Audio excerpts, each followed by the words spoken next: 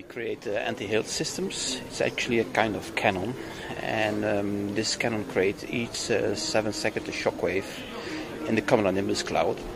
Uh, the farmers uh, of field growers they must start the machine uh, 20-30 minutes before the hail can uh, hit the crop.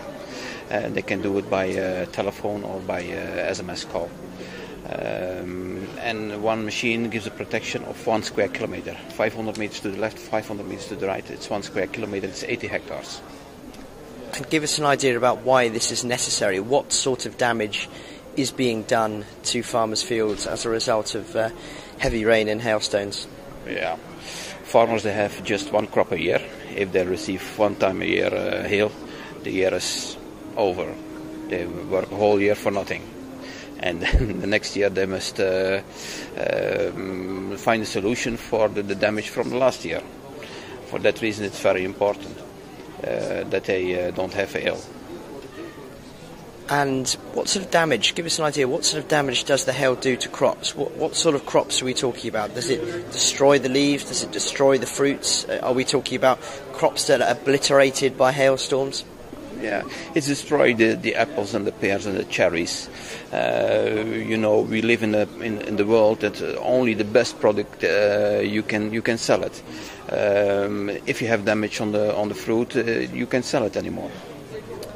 And your invention, your product sounds fascinating. How how much interest has there been in it um, around the world? Give us an idea of the countries that, that are involved.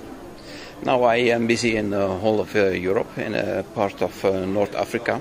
But uh, if people they know the product, product and they hear about the product, uh, they will call me. Unfortunately, after the hail, not before. And and in terms of the um, the, the, the, sort of product that you're, you're, you're working on, farmers need to understand. They need to know um, that a storm is coming. So how can they get that sort of information? Yeah, they need a very good uh, weather forecast system in Belgium, Holland. They have a, very good uh, SMS service, a warning SMS, and then they can uh, watch the, the radar images on the internet, and they can take a decision to start and to stop the machine. They can start and stop the machine, of course, by telephone or by SMS. And given projections that there will be more extreme weather on the way as a result of um, climate change, are you expecting this um, particular particular sort of product to to do well? Are you are you quite hopeful that it will uh, it, it, will be, um, be be more widely used around the world in the future? Yeah, of course, the climate uh, change is um, is going uh, quicker and quicker.